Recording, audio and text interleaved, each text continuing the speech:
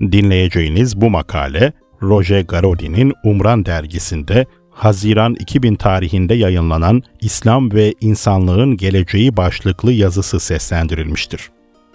İslam ve İnsanlığın Geleceği Roger Garaudy İslam bugün doruğa ulaştığı dönemlerdekinden çok daha büyük yayılma imkan ve ufkuna sahiptir.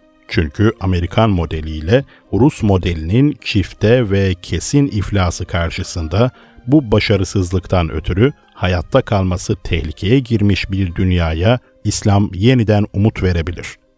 Kendisini çare bulunmaz bir çöküşe mahkum eden, kısırlaştırıcı bütün içtihat redlerinin ötesine taşıyıp bir zamanlarki ihtişamını sağlamış olan hayat verici prensiplere tekrar kavuşmasını bilirse, İslam bunu başarabilir. Yeni gözlerle okunan Kur'an, o zaman bütün gerçek azametiyle son vahiy olarak kendisini gösterir. Son vahyin bu azameti, bunu kendi dilleriyle almış olanların kendini yeter görme ve muhteşem yalnızlıklarını parlak bir üslupla ifade etmelerinden kaynaklanmıyor. Aksine bütün önceki bilgeliklerin ve vahiylerin bu son vahye yönelmiş olmasından ileri geliyor.'' Bu son vahide Allah'ın yüceliğini haber veren bütün mesajlar özetlenmiştir.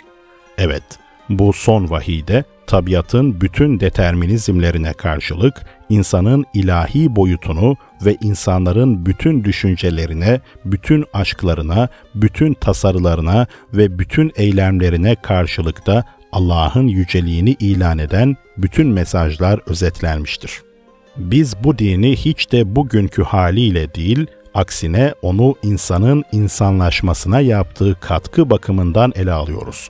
Ayrıca bu dinin diriltici ve yön verici sadakatinin, geleneklerinin 10 asırlık can sıkıcı ve onur kırıcı lafızcılığında değil de ilk vahyinin dinamizminde arayacak olursak tekrar bu insanlaşmaya katkıda bulunabileceğine inanıyoruz. Kur'an'ın 1400 yıldan beri hep seçile gelmiş aynı bölümlerinin tekrarıyla yetinilmeyip bu son vahiy organik ve canlı bütünlüğü içinde yeniden okunursa, Allah kelamı olan Kur'an insan sözüyle karıştırılmazsa, her ayetin tarihinin bir anında bir halkın karşısına çıkmış somut sorunlara cevap vermek için inmiş olduğu bu ayetlerin ebedi değerinin kesinlikle soyut bir formül olmasından değil de canlı bir cevap niteliği taşımasından ileri geldiği ve her ayetin bizi kendisinden hareketle günümüzün canlı sorularına canlı bir cevap bulmaya çağıran ebedi sorgulama değerini bizim için 14 asır sonra dahi muhafaza ettiği unutulmazsa. Kur'an ayetlerinin bize sık sık hatırlattıkları gibi Yüce Allah'ın bize önceden hazır bir hakikati vermek için değil de bizim hakikat arayışımızı yönlendirmek için insanların ifade tarzını aşan bir dille yani ima yoluyla konuştuğunu unutmazsak. Hazreti Peygamber'in arkadaşlarının ilk dört büyük halifenin geçmişin büyük fıkıhçı hukukçularının sorumlu araştırıcılar olarak Medine toplumundan çok farklı olan kendi dönemlerindeki bir devletin içinde karşılaşılan yeni meselelere çözümler bulabildiklerini hatırlar ve onlara sadık veya bağlı kalmanın onların sözlerini tekrarlamak değil, aksine onların örneğini, onların yaratıcı ve sorumlu girişimini düşünürsek, onların kendi zamanlarının problemlerini Allah'ın doğru yolundan ayrılmayarak halletmesini bildiklerini Kısacası o büyük insanların bize her yerde işe yarayan bir çeşit maymuncuk reçeteler değil de yenilikleri göğüslemek için bir metot bıraktıklarını aklımızdan çıkarmazsak. İşte ancak o zaman İslam tıpkı başlangıcında olduğu gibi yeniden canlı, evrensel ve herkese açık hale gelecektir.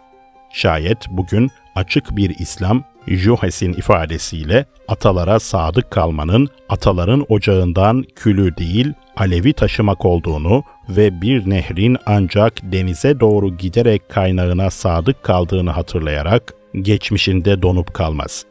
Aksine zamanımızın problemlerini Medine toplumunun ruhu içinde çözmesini bilirse, işte o zaman sadece Müslümanlar için değil, bütün insanlık için artık pozitivist bilimcilikle ve batı bireyciliğiyle felce uğramamış, aksine Medine toplumunun temel değerleriyle bereketlenip verimlenmiş bir toplumun umutlu geleceğinin kapıları açılabilir.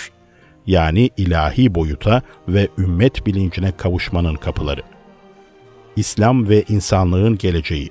Pınar Yayınları sayfa 182 ila 184.